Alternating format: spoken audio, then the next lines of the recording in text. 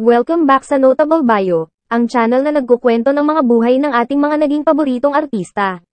Kung may isang aktor na kilala sa kanyang pagganap bilang mayamang boss o don, saksakan ng hangin, at palaging kontrabida, ito ay walang iba kundi si Rod Navarro.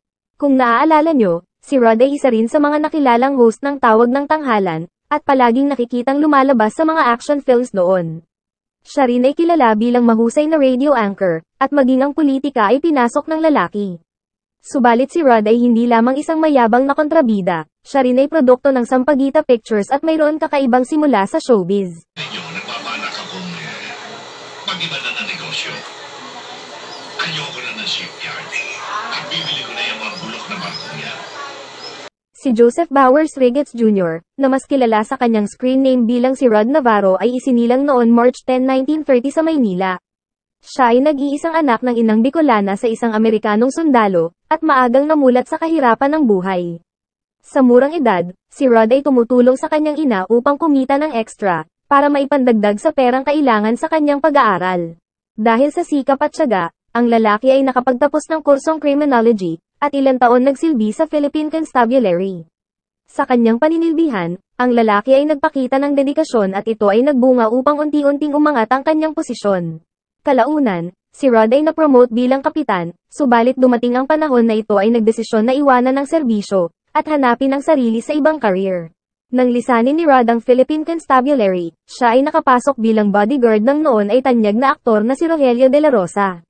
Sa trabahong ito na-expose si Rod sa mas maraming industriya, sapagkat si Rogelio ay nakakarating sa maraming lugar, at nakakasalamuha ang maraming tao. Bagamat ang trabaho ay bantayan si Rogelio, si Rod ay isang lalaking may matikas na tindig at gwapong mukha. Ito ay dahil sa kanyang pagiging mestisong Amerikano, na nakuha sa sundalong ama. Isa sa kanilang madalas puntahan ay ang film studio ng Sampaguita Pictures. Dito ay palaging may proyekto si Rogelio, at dahil si Rod ay laging kabuntot ng aktor, siya ay napansin ng mga boss sa Sampaguita. Si Rod ay hinalok na subukan ng pag-arte, at ito ay agad tinanggap ng lalaki, na ng panahon iyon ay hinahanap kung anong karera sa buhay ang kanyang gagawin. Ang kanyang unang naging paglabas ay sa pelikulang Binibining Kalog noon 1955, kung saan ay agad nakasama ng baguhan aktor ang mga malalaking artista ng panahon iyon tulad nila Lolita Rodriguez, Ramon Revilla, Rudy Francisco, at iba pa. Sa parehong taon ay napasabak din si Rod sa iba pang pelikula ng Sampaguita, tulad ng Bim Bam Boom, Waldas, at Torpe. Ito ay nasundan ng pagganap sa Bituing Marikit noon 1957, kung saan ay nakasama naman niya sila Amalia Fuentes at Juancho Gutierrez. Prinsesang Gusgusin sa parehong taon, kasama si Susan Roses. Kundi man ng puso noon 1958, Bitnat noon 1960, at marami pang iba. Sa mga pelikulang ito, si Rod ay palaging supporting ng mga bida, at madalas ay napadpad sa pagganap bilang kontrabida. Ito ay hindi nagpahadlang sa lalaki, kung saan siya ay kinakitaan ng tunay na husay at talento sa mga role na ginampanan. Sa kanyang mga epektibong pagganap, ang lalaki ay inalagaan ng Sampaguita Pictures noon. Kaya naman, si Rod ay sunod-sunod ang naging mga proyekto, at dahil sa kanyang experience bilang militar, ang lalaki ay nabigyan rin ng break sa mga action films. Nang sumapit ang dekada 60, si Rod ay madalas nakabilang sa maaksyon mga pelikula, at kalimitan ay naging kontrabida ng malalaking action stars sa panahon iyon. Siya rin ang sinasabing nagturo kay FTJ sa paggamit ng sandata, kung saan ay lubos na nakilala ang aktor. Habang lumilipas ang panahon, si Rod ay naging tanyag sa kanyang mga pagganap bilang mayaman boss ng mga sindikato, o mayabang nakalaban ng bida. Minsan rin bumida si Rod sa action film na pinamagatang Sergeant 45 noon 1967.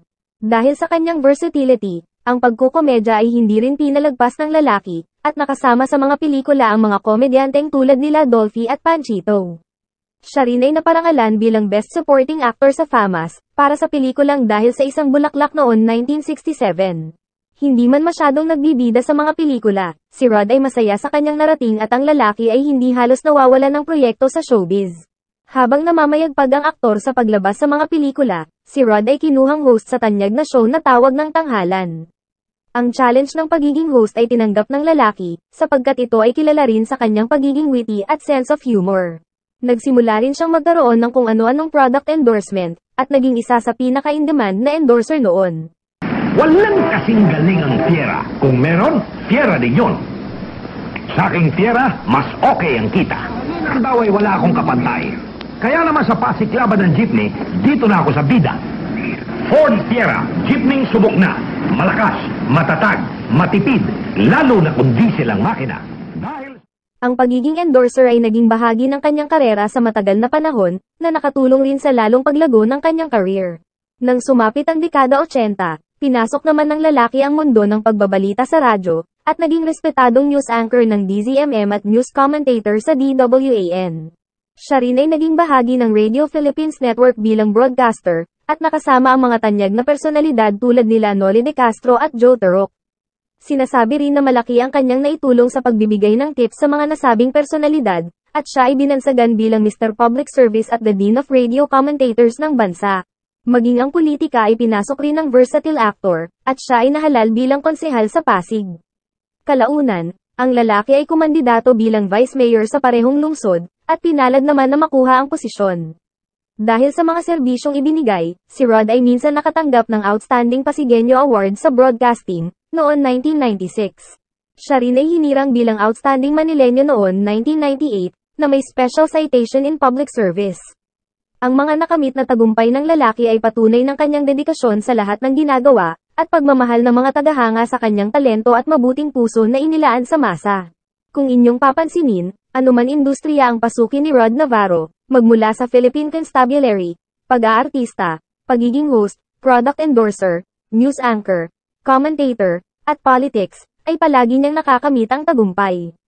Ito ay dahil sa tuwing magtatrabaho ang lalaki, ay ibinibigay ang kanyang buong puso at dedikasyon, na naging susi upang makamit ang kanyang nais. Ayon pa sa kwento ng ilan, si Rod ay tinuturing na bangungot ng mga tiwaling politiko at kalaban ng mga gumagawa ng masama sa pamahalaan. Siya rin ay hindi natatakot lumaban sa masama, at buo ang dibdib na magsalita hanggat alam niyang siya ay nasa tama. Subalit kung anong tapang ni Rod sa mga kalaban, siya naman buti ng kanyang loob sa mga kasama. Ang lalaki ay may respeto sa mga kapwa komentarista, at pantay-pantay ang kanyang treatment sa lahat. Siya rin ay madaling lapitan ng nangangailangan, at kilala sa pagiging palabiro, matulungin at magalang kahit sa ordinaryong mamamayan.